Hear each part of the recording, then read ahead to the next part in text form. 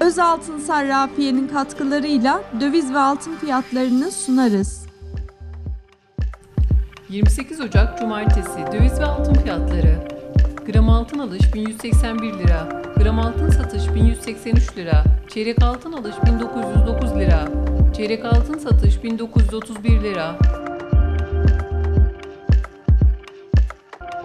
Euro alış 20.62, Euro satış 20.65, Dolar alış 18.98, Dolar satış 19.98